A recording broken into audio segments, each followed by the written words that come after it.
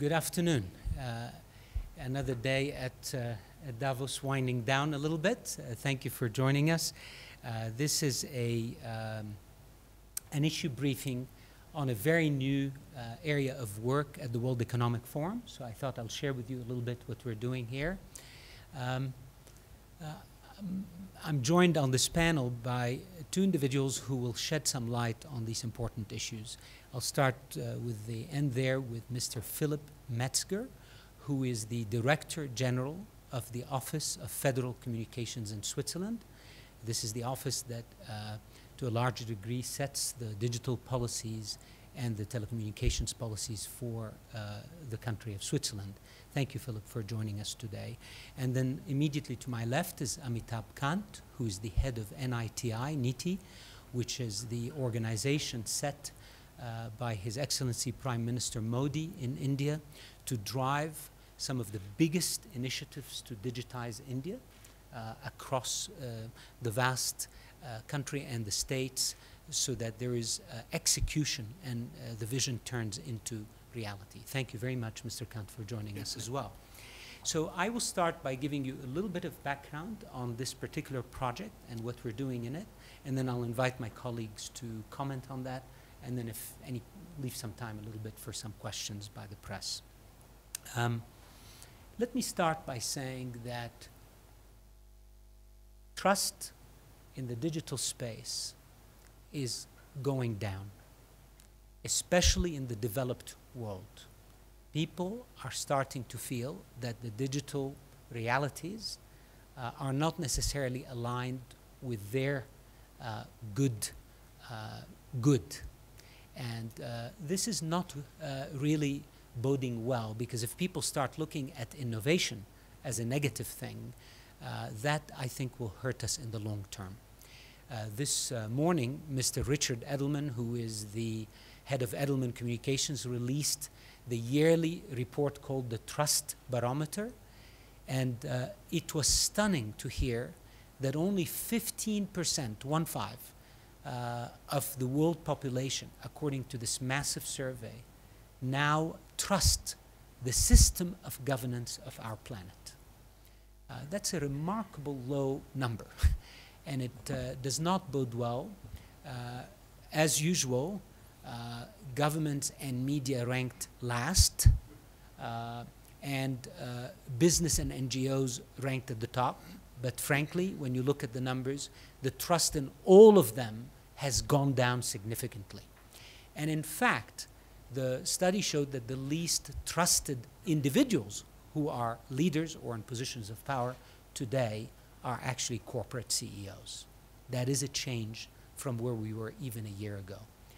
Uh, what is driving that is in large part uh, the advent of technology that is changing our lives, changing work, changing the power structure of the world.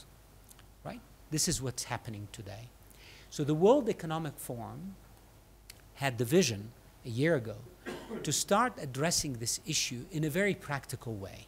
What we are missing are actual norms or rules, I prefer to call them protocols, that enable business, government, users, technologists, academics if necessary, to work together to design frameworks that address the core issues we are facing in both the digital economy and the digital society.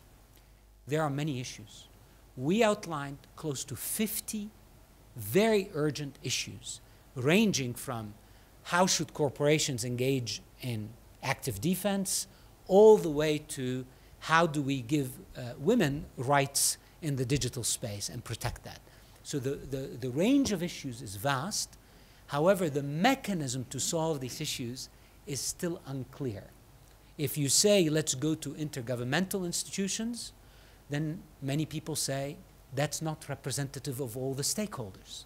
You need business, you need technologists, you need civil society, you need others. If you go to governments alone, trying to set national digital policies that are incongruent with the transnational nature of the internet, you will fragment the internet. You will fragment the policy space. So we do have real concerns, and the forum then created a platform to bring us together to start addressing those issues. These are called the transnational networks, and you have a, a little page that describes them. This is a brand new experiment in governance, and how do we do it together? Uh, we call it in the political science world a horizontal experiment of governance, as opposed to a vertical or top down governance model. And that, by the way, is very aligned with what Mr. Edelman said today about trust. That the trust pyramid has been flipped. We used to think that our leaders are to be trusted, and they passed the trust down to the system. Today, trust is very horizontal. Most people trust their peers, they don't trust authorities. But if you bring peers to work together to solve problems, they can solve them more easily and influence each other to implement them more easily. That's called horizontal governance. So these are horizontal networks of governance. We have launched three of them at the forum to test that model. And I'm happy to share with you today that the three networks are all up and running. Tens of experts, horizontal experts, came together from government, business, academia, technical environments, and they're addressing these three issues.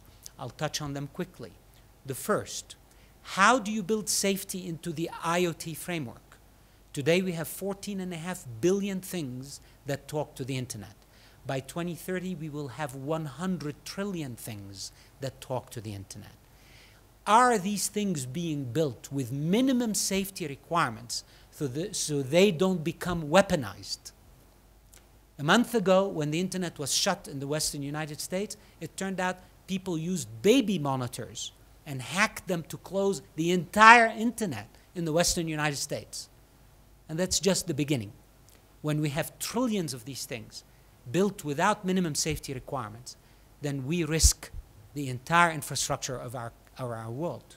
So the first network is building minimum safety requirements that every IoT builder whether it's a toothbrush that talks to the internet, a heart monitor that talks to the internet, or even a piece of software embedded in something that talks to the internet, has minimum safety requirements. That's the first network. The second network is addressing the issue of ethics in big data and artificial intelligence. So I'll give you one case, and then you'll understand what we're trying to address. If some cloud platform knows the data from my watch about my walking, and the data from my heart monitor about my heart, and the data from my doctor about my latest blood test. If they take all that data and they put it through an algorithm that decides that I'm going to die within a year, who owns that information? Who could they share it with? My wife? My insurer? My employer? What are the rules about that? The ethics of big data and AI, which compounds data, are still the Wild West. There are no frameworks to decide how we're going to do this. So the second network is addressing that, and if you see who's involved in it, it's almost the who's who in both the public, private, and civic space to start framing these ethical frameworks. Now, this brings me to the third and last pilot network we launched this year, because that's the one uh, Mr. Metzger and uh, the President of Switzerland, President Leuthard, have been quite engaged in, and I'll let him speak to it. But that's a network that is addressing the issue of national digital policy in an environment where the internet is really not national. The internet is truly transnational. It's not even international. It's a transnational network. So how do you build national digital policies that don't break your country's relationship with the transnational internet? We formed that network, and for each network we have what is called a steward or two stewards in some cases. The steward is a high figure of public or private background that is stewarding the work of the network and making sure the world understands the value of that work. This particular third network is stewarded by Her Excellency President Doris Leuthard of Switzerland, who's represented here by her Director General. And I give you the word, Philipp, so you can share with people why Switzerland involved in this network and what do you think will come out of the work that the forum is enabling there. Thank you very much, uh, Fadi. Good evening, ladies and gentlemen. Um, thanks for the invitation, and uh, I think it's uh, very timely that we can talk about uh, this network and also our involvement, because um, maybe I'll, I'll, take a few steps back, uh, initially back a few years. Um, Fadi and I, we have a, a long history of being involved in, in internet governance questions, dealing with that. Um, we have been advocates, uh, Switzerland has been a strong advocate of multi-stakeholder approaches and processes all along, specifically uh, in the internet governance discussions. Of course, this is something which is close to our heart as a country. Uh, we have a, a, very, as you know, intricate system of federal structure with sub-federal levels. We have a direct democracy, and so for us, multi-stakeholderism in the ways we know, uh, in the way it's set out in the Constitution, is something that we're breathing every day. But when it comes to digitization, when it comes to the internet, and when it comes to the challenges of the information society, um, we're maybe not so far advanced. We had a strategy in Switzerland on the information society ever since the World Summit took place um, in, in, Geneva. And we have been um, using that strategy to, uh, I think, a good purpose. But we also felt uh, in the past few years that there was um, a lack of traction going forward. And what we realized is we had this nice initiative, but we really didn't engage with the stakeholders in the way that we ourselves ideally think uh, everybody should do. And so we uh, went back to the drawing board in a sense. Uh, we did an assessment of where we stood and where we stood with regard to the future.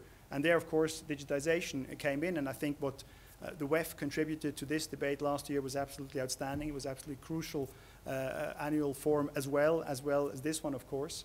Um, and we did an assessment, not in a way where uh, we, in, a, in an administration, uh, you know, go back to our offices. We are ordering some studies from the outside, but we engage with stakeholders on a small scale, of course, because um, you can't do this uh, right away uh, on, on, a very large scale, but we made sure we had representativity in that assessment. So we had stakeholders from civil society, from the research community, uh, from economy, of course, and political stakeholders.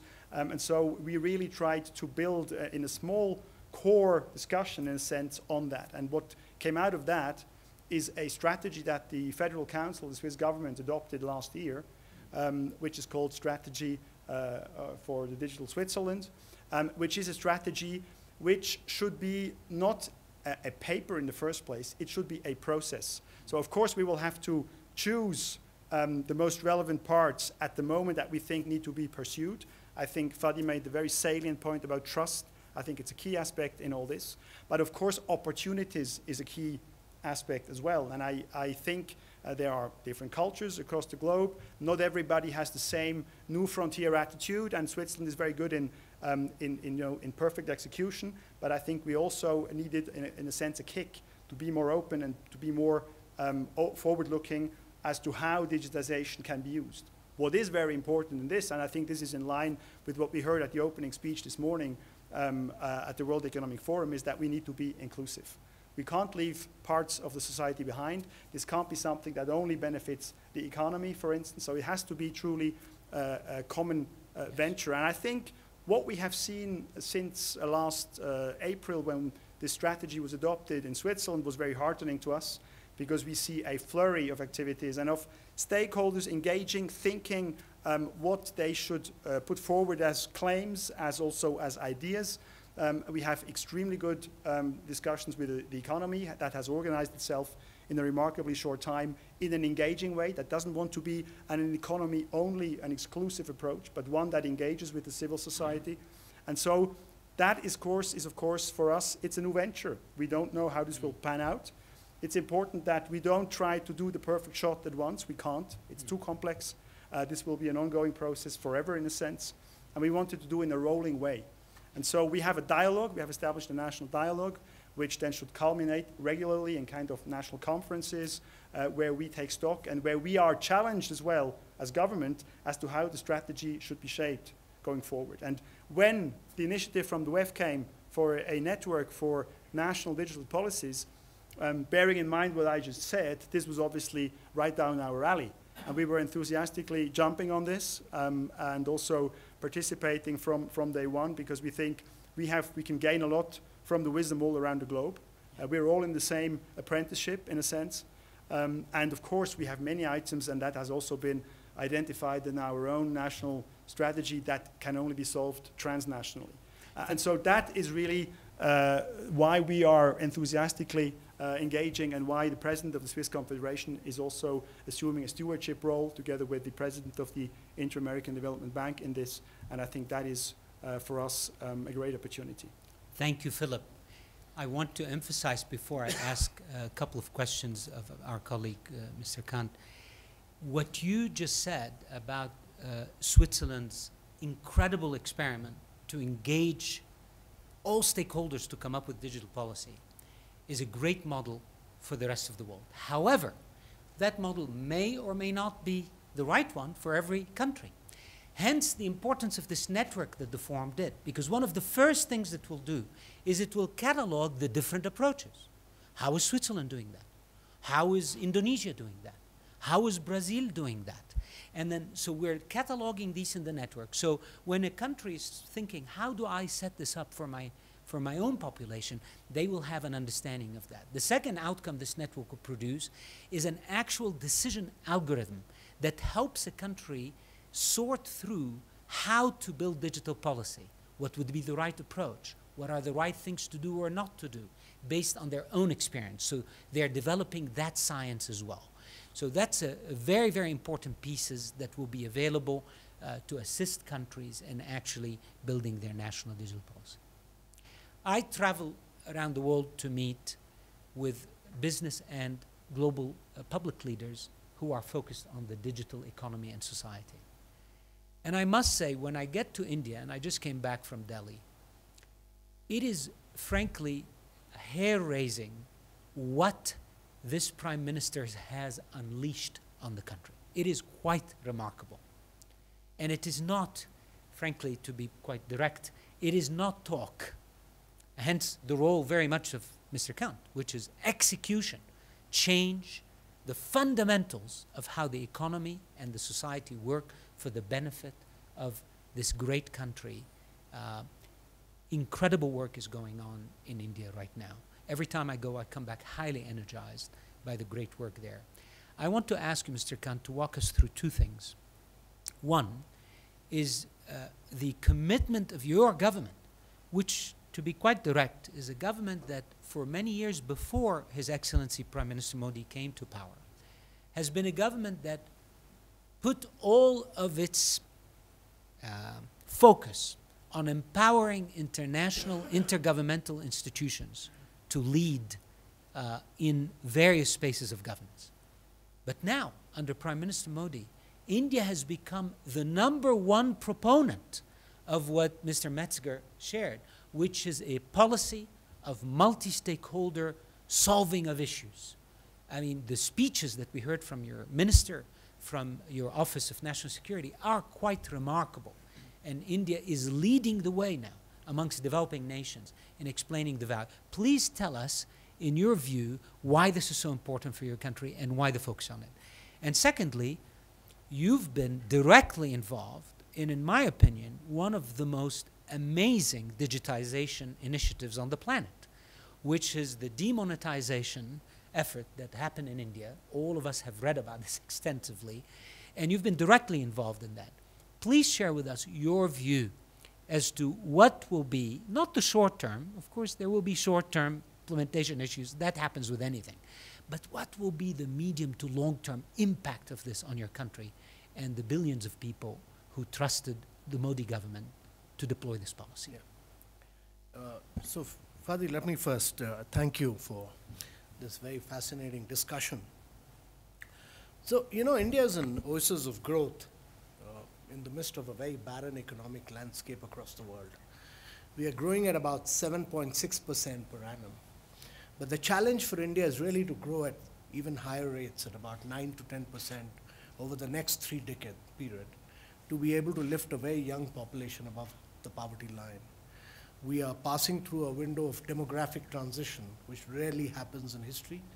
72% of our population is below the age of 32. So it's a very young population. And uh, uh, Mr. Modi's belief is that uh, India must embrace digital te technology. and use digital technology to leapfrog several generations. And therefore, he's himself a very passionate driver of digital technology. He's unleashed several new programs.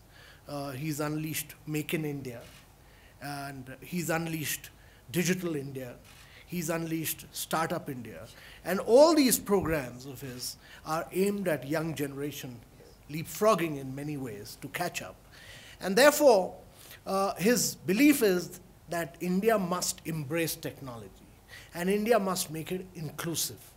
It's important because uh, as soon as he came into power, one of the key programs that he launched was that he opened up bank accounts of a vast segment of our population which was below the poverty line, which did not have bank accounts.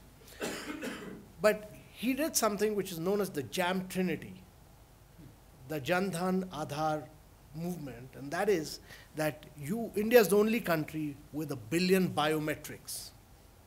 It's the only country with a billion biometrics in the world. India is the only country with a billion mobile in the world. No other country has a billion mobile.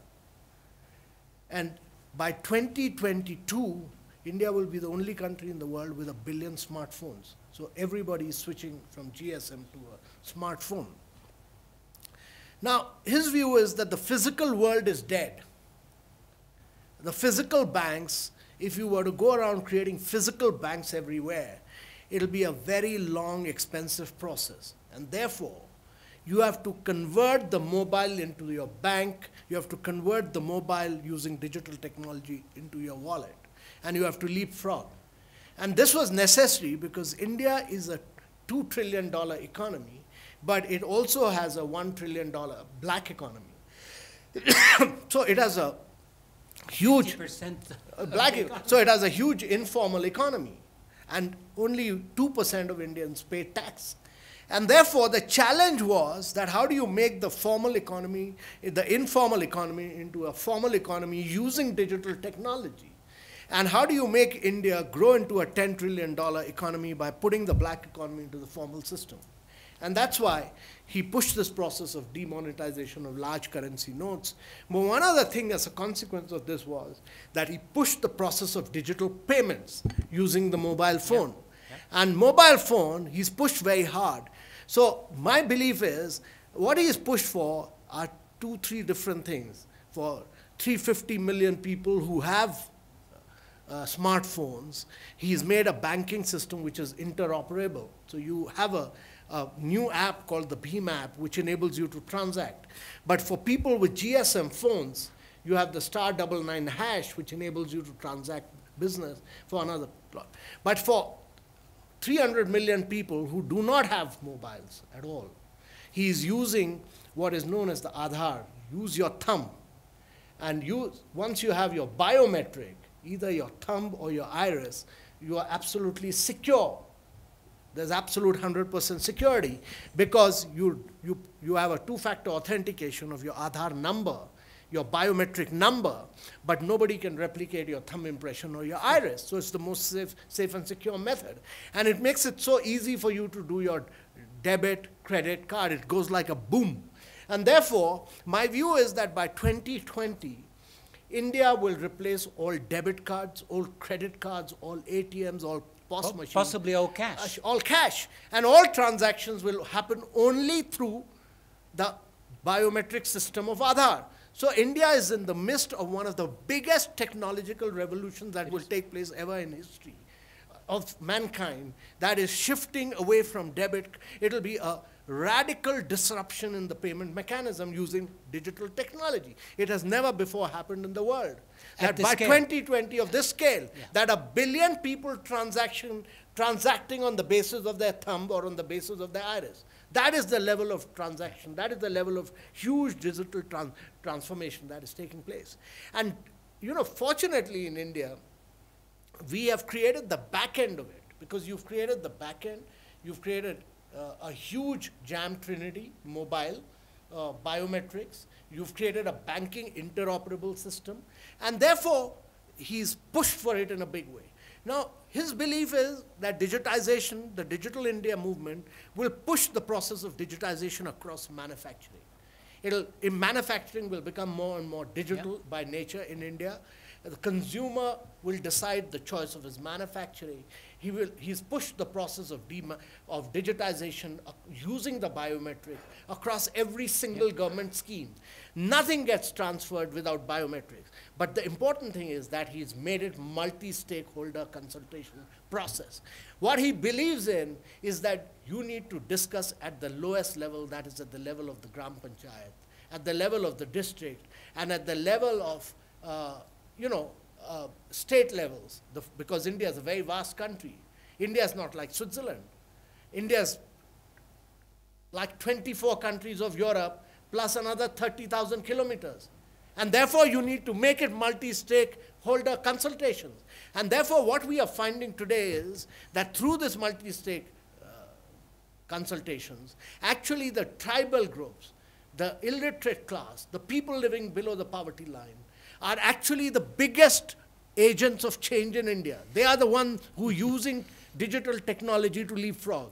They are far ahead in adopting digital technology than the, than than the, the urban elite, than the rich and famous. And therefore, my belief is that India will transform itself through this multi-state discussion holder. And therefore, whatever regime you have in the world, whatever regime you have for management of the digital system across the world, it has to be multi-sectoral. Yeah. You know, thank you, uh, Mr. Kant. And I think just one statistic before I see if there are any questions.